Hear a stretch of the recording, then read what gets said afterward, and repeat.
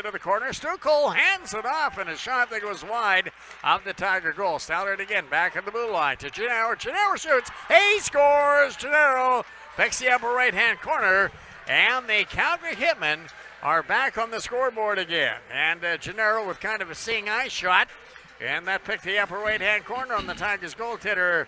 Uh, Nick Schneider and uh, the Calgary Hitmen just won't go away here, Barry. No, they definitely won't. And hey, that's a big goal.